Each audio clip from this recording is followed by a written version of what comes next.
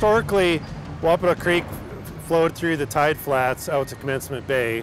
In the mid 1960s, Wapato Creek was diverted and ditched along 12th Street and Alexander Avenue, and the area was filled.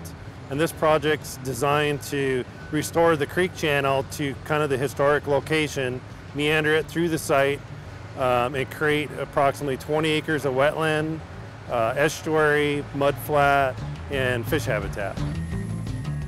One of the things that ports are able to do, which is critical, is to purchase property and bring it back to its natural habitat.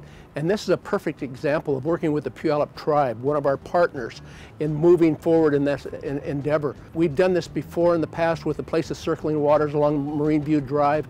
It gives the uh, community a, a place to be proud of that we're bringing back natural habitat in the way it was designed to be.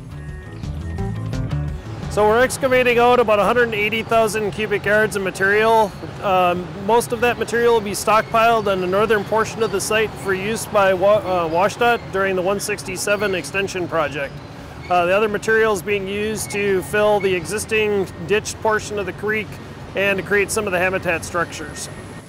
We're scheduled to be completed by mid-February. Most of the earthwork will be completed here before the end of September. The design tries to maintain as many mature existing trees here as possible, and then we'll be planting native grasses, shrubs, and trees to create about 10 acres of wetland habitat and uh, stream habitat for fish, and then also about eight and a half acres of forested uh, upland buffer habitat. The port is uh, also generating advanced mitigation credits by creating this restoration site. And the port will be able to use those mitigation credits to mitigate for unavoidable impacts to wetlands in the future from port projects. We're doing this in a very urban area. You can hear the cars moving in the background. We're right adjacent to State Road 509, and yet it's close enough to other habitat sites that it creates the continuity that's required for the for the, the animals. We blocked off the creek. We had biologists come in and look for fish and remove any fish that we found. And they found hundreds of uh, fish, some coho, and surprisingly some shrimp and uh, flounder. So that was pretty interesting that fish are already here and we're creating a better home for them.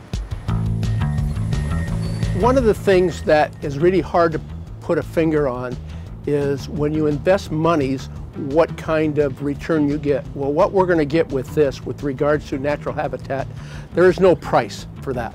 Uh, we're paying, we're spending $17 million on that, uh, but it'll be here for generations to come. They'll be able to look at that and say, this is how it should have been and was at one time. And because of the port, the Puyallup tribe, and the community outreach to us, we're able to do that.